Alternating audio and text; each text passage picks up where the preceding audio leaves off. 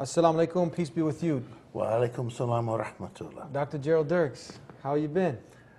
Oh, praise God, I've been fine. It's good to have you here on the Dean Show again. Uh, good to be back. Now, uh, about a year ago around this time, you were with us and we were very delighted to have you come on and share your experience, your, your journey to Islam, which Islam simply means to acquire peace to, by submitting to the one God, to the will of God. And so many people, we're, we're on so many, we're on a few satellite channels now, and not only do we broadcast here in Chicago on the local TV station, but now, thank God, we're on several different satellite channels. So, so many people have gotten to hear and benefit from your story. So, if you can just kind of recap uh, for those who didn't get to hear your interview, you can go to thedeanshow.com, but just kind of bring us up to speed and, and the rest of the people of how you, in short, you know, end up making this turn towards Islam. And then we're going to come back to atypical Christian. Okay.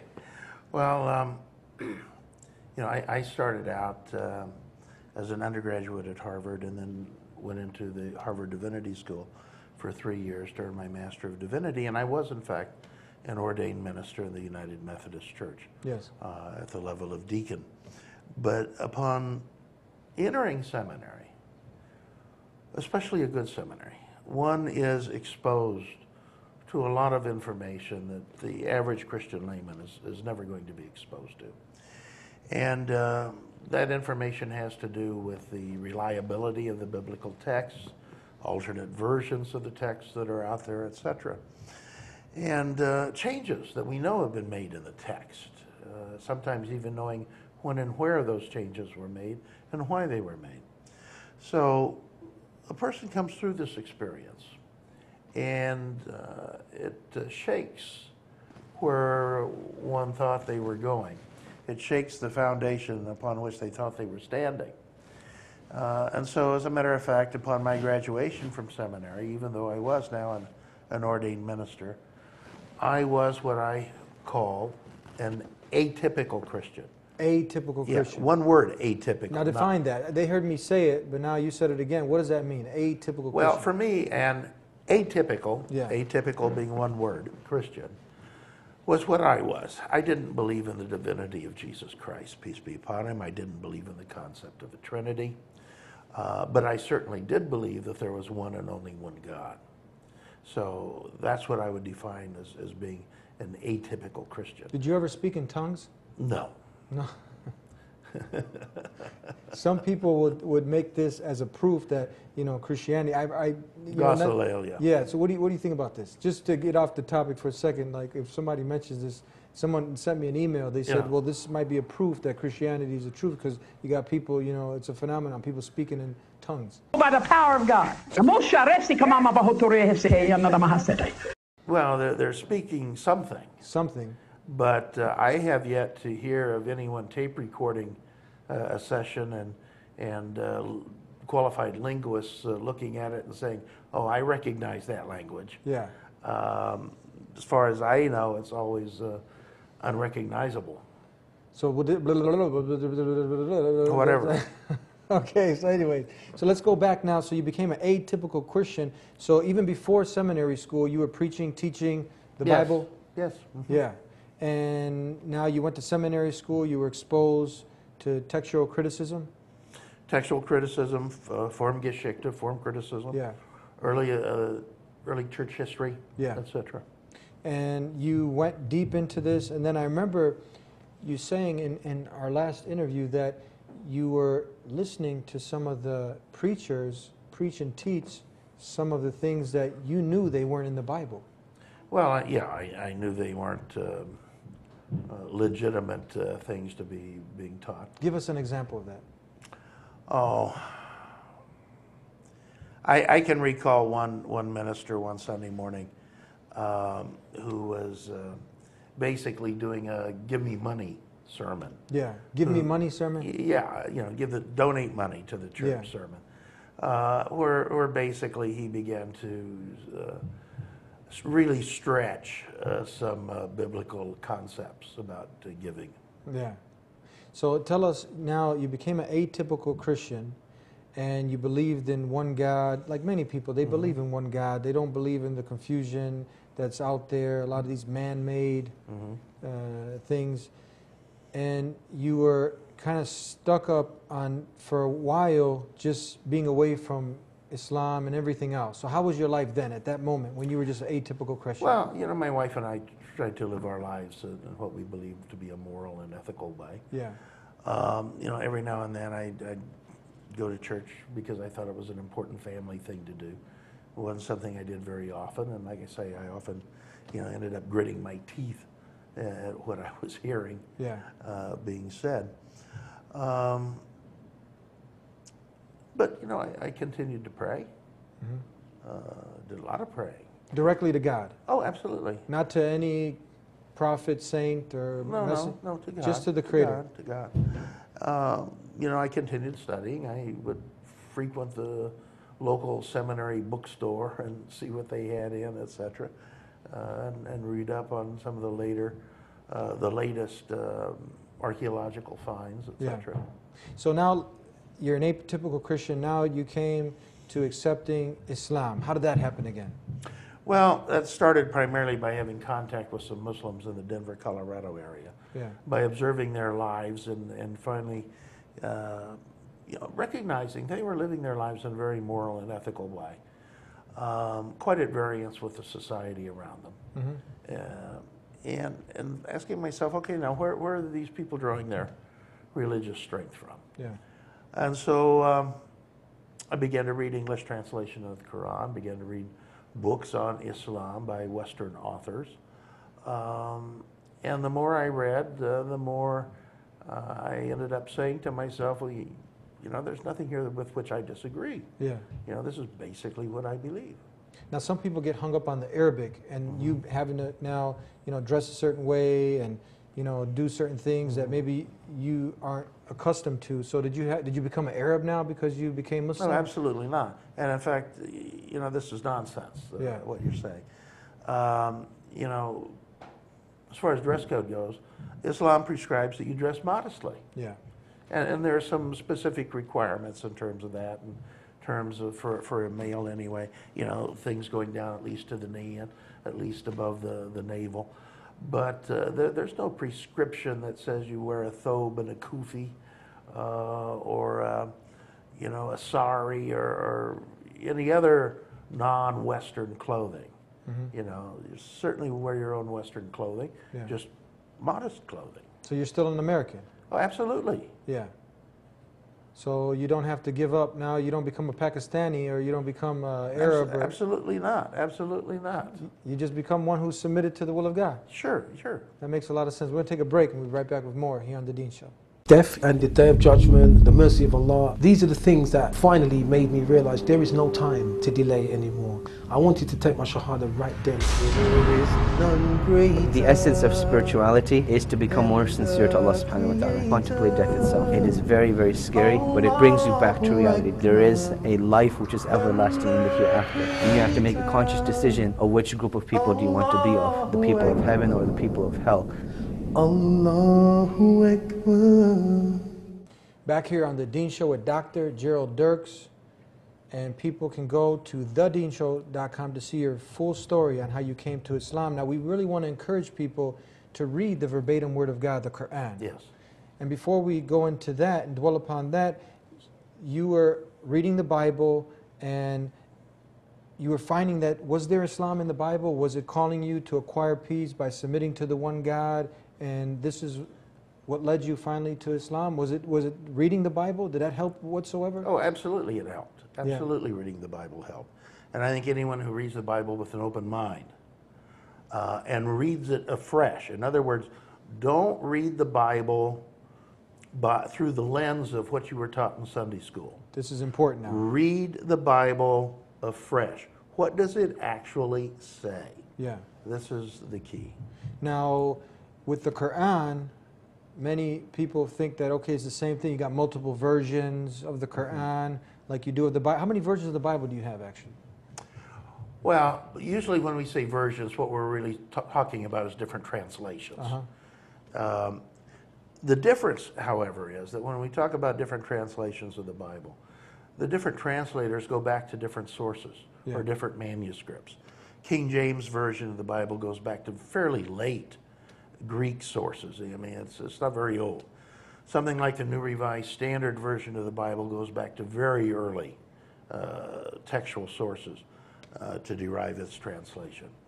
Now, having said that, it is the case that there are different Bibles. Different Bibles. Yes. So would that be like in one Bible you have one verse taken out and another one put in, or some things in one Bible, like the Like you have whole books. whole books out? So wouldn't that constitute a, a, new, a different version? Well, yeah, but usually I can say when people say different versions of the Bible, they're really talking about different, Different- translations.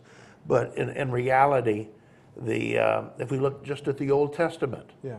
the Protestant Old Testament does not have all of the information in it that the Roman Catholic Old Testament has. Yeah. Which in turn does not have everything that's found in the Greek Orthodox Old Testament. Yes. And you look at something like the uh, Ethiopian Orthodox Church, and they have a radically different Old Testament than, than the other three. Same things to be found in terms of the New Testament. Uh, now, the Protestants, the Roman Catholics, and the Greek Orthodox all agree on 27 books of the New Testament. But you look at other Christian groups, such as the East Syrian uh, or Nestorian Orthodox Church, they have a 22 book New Testament. They take five of the books and say, no, no, we don't accept these. The Coptic Christian Church includes First and Second Clement in their New Testament, which are not found in, in uh, the other Bibles. And again, you go to the Ethiopian Orthodox uh, New Testament, and, and you find some wildly different books. The bottom line is Christianity has never, ever agreed on what constitutes the Bible. Is it true that we don't have a copy of a copy of a copy of anything original? Well, we don't have anything original. Nothing original. No, there's nothing original. What we, Yeah. we, we have are, are typically much later copies. And, you know, people sometimes say, well, you know, there's, you know, P52 or, you know, whatever. And, you know, that's very early date, maybe 120, 130, 150.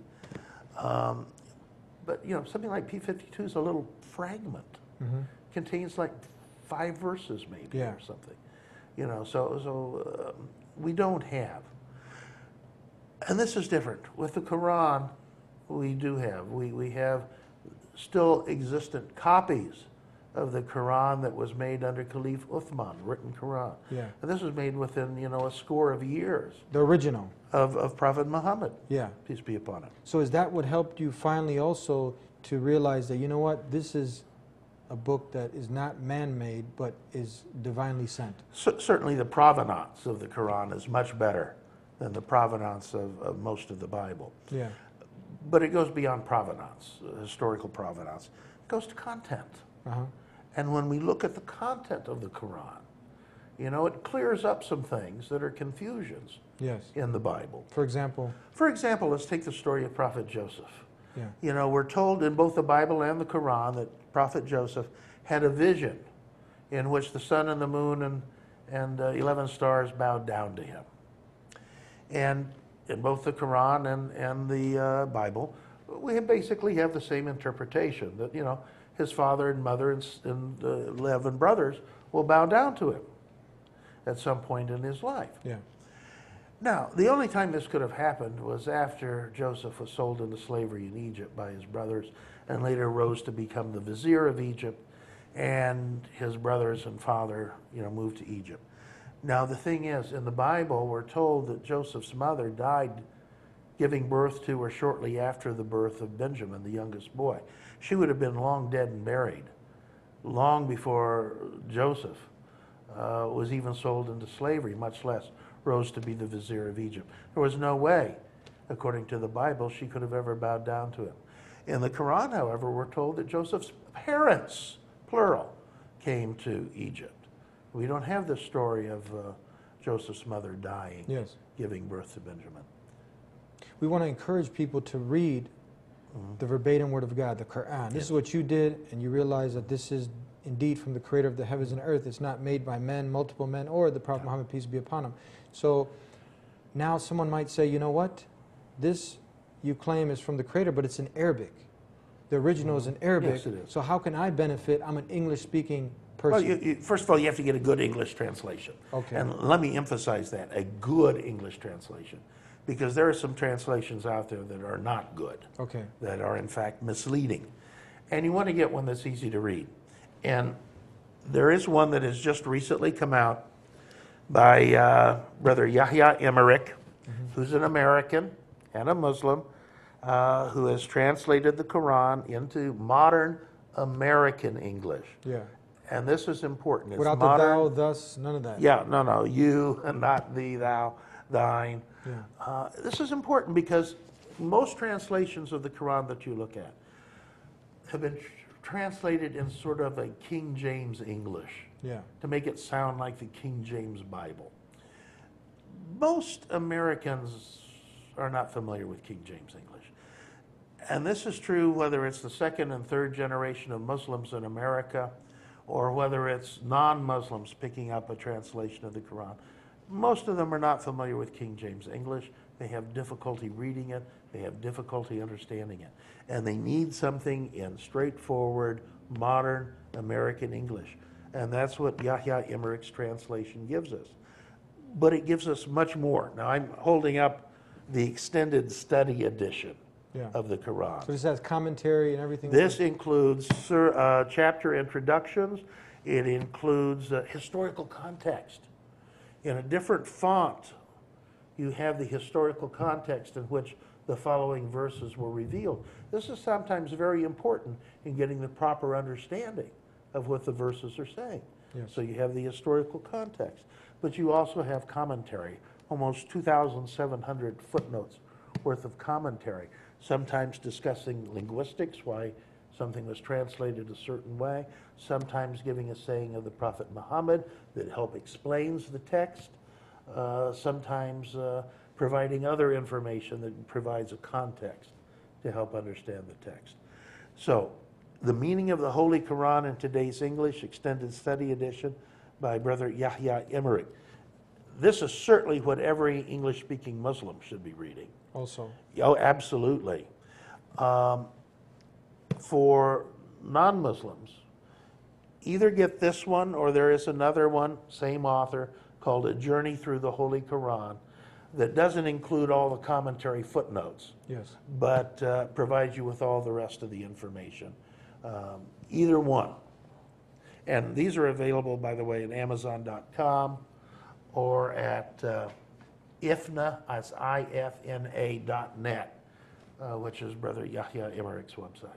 Let's take a break and we'll be right back with more here on The Dean Show. Here on The Dean Show, and this is what we're really trying to encourage people to do. What you did, you were open minded, humble hearted, you had a connection with your Creator, and you wanted to do His will. Now, you got a hold of also this Quran, the verbatim Word of God, and you read. And we want to encourage people to read. One of the beautiful miracles of it, isn't it, that it's memorized by millions all over the world. And Oh, today, you don't have different books of the Quran, it's just the one Quran. Yeah, there, there's different translations, obviously. Yeah. Uh, and the Quran has been translated into language after language after language. But when we really talk about the Quran, we're talking about the Arabic original. Yeah. And yes, that's the same. There is only one version of the Arabic. Now, you're as American as they get. I think so. so now an American who's watching and he sees you, you went to the top university, one of the top in the world, Harvard University, you got your divinity degree, you were a Christian preaching, teaching the Bible, eating Thanksgiving dinner, and you're from a small town and everybody knows you, they love you. And now they relate. They, they agree. Look, I don't want to worship Jesus. I love Jesus. We love Jesus too, but Absolutely. we say he's not God. Never did he claim that he was God. This Trinity is confusing. My mind is getting a little numb thinking about it. It's one God. And you proved in all of the different lectures that this was the teaching of all the messengers. So they like what we have to say accountability, that no one's dying for my mm-hmm. sins. I'm going to have to be accountable in front of God. So I got to do good. I got to race for good. But they, you know, this whole thing now, the identity, the It's culture. Huge issue. How did you get past it? With difficulty. Yes. with difficulty. You know, because one, one does have an identity. Uh, one has a national cultural identity, in my case being an American. Uh, one also has a religious identity, which originally in my case was that of being a Christian. Yes. Even though I was an atypical Christian, that was still the sort of uh, cloak of identity that I carried around with me in terms of my religious identity. And it's a difficult thing to change identity. Yeah. It, it is a very difficult thing. Um, the thing that's important, uh, I would tell non-Muslim Americans who are watching, We call them the not yet Muslims. Okay, alhamdulillah, that's very good. Praise God. Um, you're not giving up your national cultural identity. You're still Muslims. You're still going to dress in Western clothing. You don't have to change your name. You don't have to take an Arabic name. And by the way, that's what it is. It's an Arabic name, not a Muslim name. You don't have to make these changes. You don't have to sit around eating biryani, biryani or, or You could still, you, I mean, even though you might have to go to McClinic, you could still eat McDonald's? uh, well, yeah. If it's halal McDonald's? de- it depends where you draw the line. Yeah, okay. Yeah, but sure, there are certain dietary restrictions. Yeah. You know, we, we don't eat pork, we don't uh, consume alcohol. Yeah. Um, but, uh, you know, aside from things like that, you keep your American national cultural identity. Only change that religious identity. That's simple. Yeah. That's, and you're doing it for the Creator, the one who loves you, who Yes. created you, who's the most loving. Yes. Yes, definitely. Okay, how could people get a hold of you if they wanted to invite you? They'd love for you to have to say to their university, to a platform where you can speak in front of thousands. They can contact me at my website. We started with peace. We end with peace. Thank you very much. Peace unto be to you, brother. Thank you very much. And thank you again for tuning in to the Dean Show. Islam, which simply means to acquire peace by submitting your will to the one God. It is growing. It's the fastest growing way of life in the world today, yesterday, and tomorrow. And you can learn more about Islam here in the Dean Show. Continue to tune in every week.